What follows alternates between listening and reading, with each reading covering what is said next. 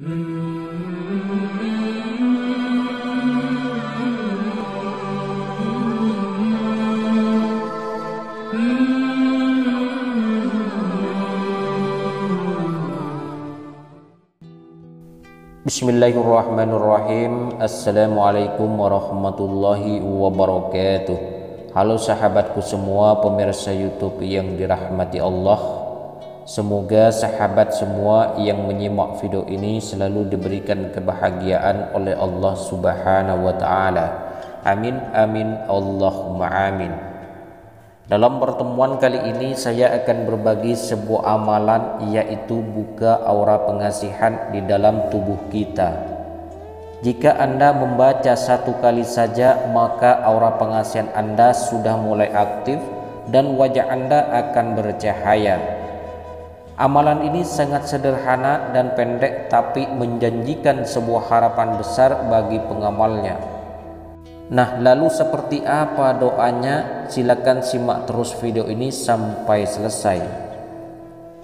Sahabatku pemirsa YouTube yang dirahmati Allah, sebelum kita membahas video ini, saya admin sarankan pada Anda semua agar tidak menyalahgunakan doa ini untuk hal-hal yang tidak diridhoi oleh Allah Subhanahu wa taala.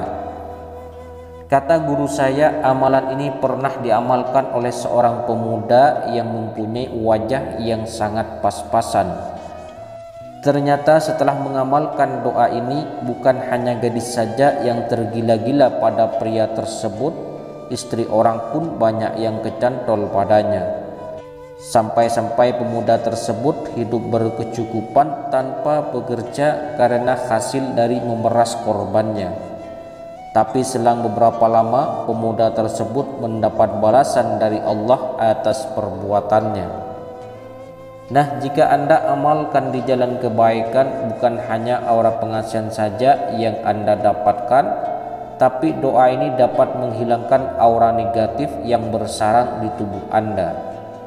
Nah, baiklah berikut ini cara buka aura pengasihan di dalam tubuh kita. Setelah Anda selesai mandi, ambillah air satu gayung lalu bacakan ya Allah sambil menyiram air di kepala sebanyak tiga kali. Berarti tiga gayung air. Kemudian baca ya Rahman sambil menyiram pundak sebelah kanan tiga kali setelah itu baca ya Rahim sambil menyiram pundak sebelah kiri tiga kali setelah itu baca La ilaha illallah Muhammadur Rasulullah sebanyak tiga kali. InsyaAllah jika anda yakin dan istiqomah anda akan dikejar-kejar wanita dan cepat dapat jodoh.